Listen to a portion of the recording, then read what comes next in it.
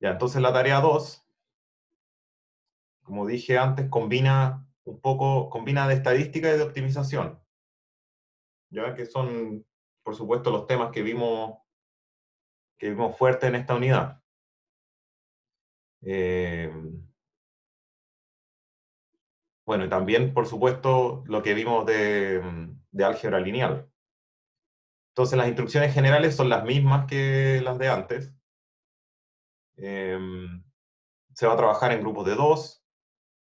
Entonces, eh, ustedes pueden copiar este notebook, lo copian, eh, y le modifican el nombre de archivo, por supuesto, para que para mí sea más fácil, eh, sea más fácil saber de quién es.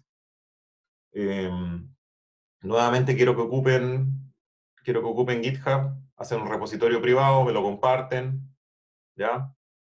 Eh, y en este caso la diferencia, eso sí, hay una sola diferencia en, todas, estas, en todas estas reglas con respecto a la tarea 1, que la tarea 1 yo les dije eh, que me la envíen por correo, pero en realidad eso es como medio redundante, porque si ya lo tienen en GitHub, yo lo puedo revisar desde ahí mismo.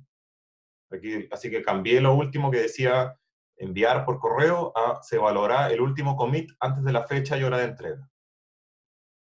Entonces, ustedes simplemente empiezan a trabajar en la tarea y pueden trabajar en este cuadernillo o en otro cuadernillo y con scripts, con lo que ustedes quieran, pero tiene que estar todo en GitHub. O sea, para mí tiene que ser posible descargar el repositorio y correr la tarea. ¿Ya? Que tiene que ser reproducible. Y, es este commit el que yo voy a el que yo voy a el que yo voy a evaluar. Y la tarea se, me basé en un paper, ¿ya? Estuve un rato cabeceándome como qué tipo de regresión podríamos hacer que fuera interesante.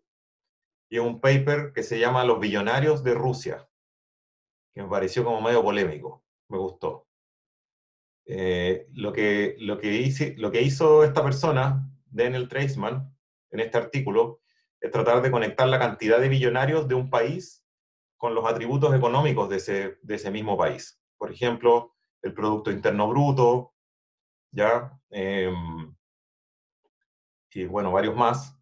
Aquí yo estoy definiendo los que, los que, van, los que vamos a usar. Eh, el Producto Interno Bruto per cápita. Y otro era eh, la cantidad de años que el país está adherido en, en el GATT, que es el General Agreement on Tariff and Trade que es básicamente cuánto tiempo, cuánto, cuánto tiempo lleva haciendo eh, exportaciones mayores. O sea, eso también habla como del desarrollo de un país. Y bueno, otra, otro es la población. ¿Cuánta gente tiene el país? El capital humano. Entonces, Producto Interno Bruto, población y, este, y, esta, y este cantidad de años en el GATT. Em, entonces, esta persona hizo ese estudio y, entrenó un modelo para predecir la cantidad de billonarios en base a estos tres y se dio cuenta de que en el caso de Rusia, ya la cantidad de billonarios que había era mucho mayor que lo predicho. O sea, lógicamente, eh, uno, uno tendería a pensar que un país más desarrollado tiene más billonarios o más millonarios. Eh, pero eso, por supuesto, no se cumple en el caso de que haya una gran desigualdad. Entonces, lo que está pasando aquí es, que eh, hay un país, que en este caso es Rusia, que es lo que encontró esta persona, que, que es muy desigual, porque tiene muchos más billonarios de lo que debería, según el modelo. O sea, ellos están obteniendo, hay personas que están obteniendo mucho dinero a pesar de que el país en general es pobre. Entonces, ¿cómo pasa eso? Bueno, esos son problemas sociales, obviamente. Y esto no está tratando de buscar cómo resolver ese problema, está solamente diagnosticando la situación. Y yo quiero que hagamos lo mismo. Quiero que, quiero que tratemos de reproducir o sea, ya sea comprobar o refutar los hallazgos de esta persona. ¿Ya? Y para eso yo les dejé una base de datos de 197 países, que está indexada por país y que tiene el número de billonarios, el logaritmo del PIB per cápita, el logaritmo de la población y el GAT.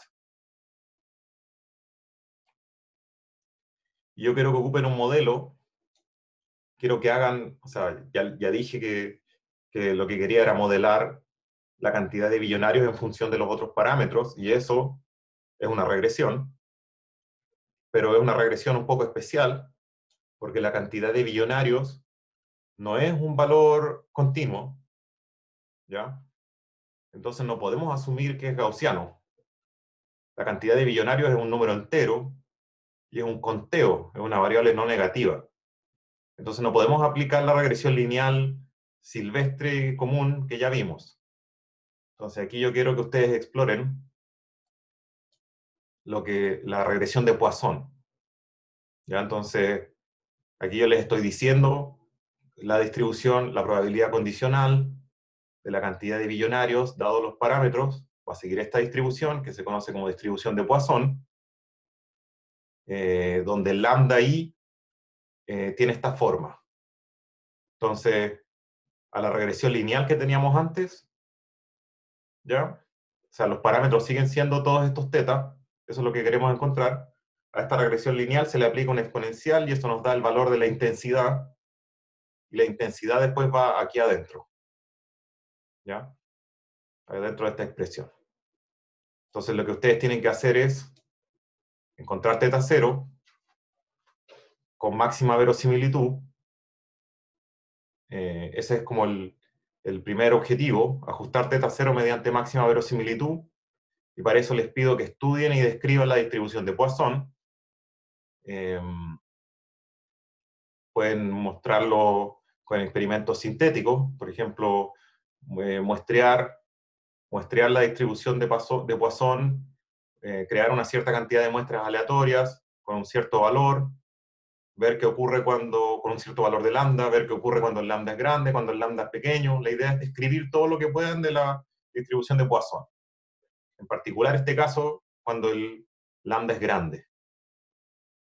Eh, luego de, esta, de este estudio como más descriptivo de la distribución de Poisson, que es para que se familiaricen con ella, viene la parte de máxima verosimilitud.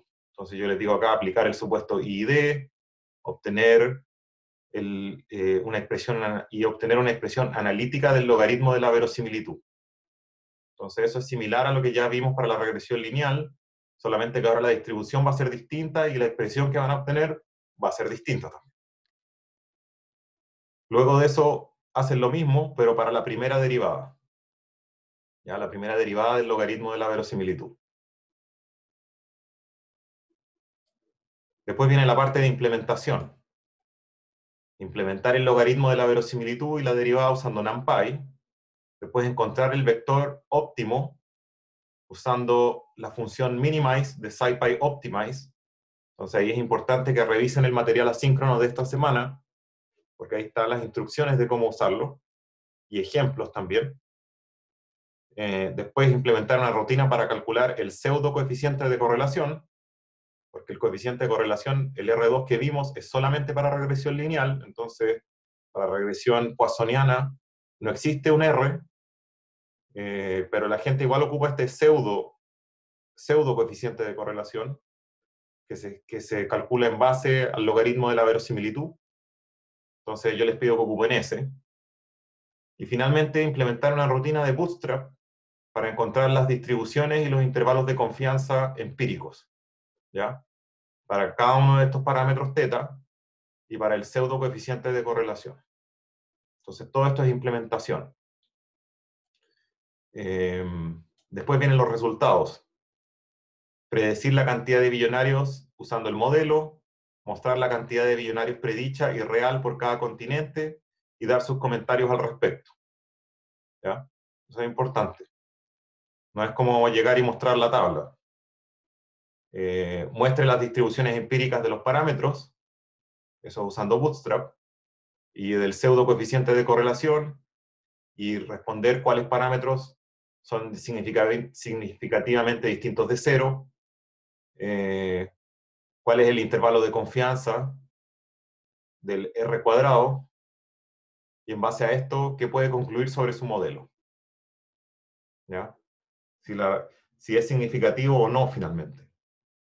Y el último es graficar el error entre la cantidad de billonarios que ustedes predicen y la cantidad de billonarios real.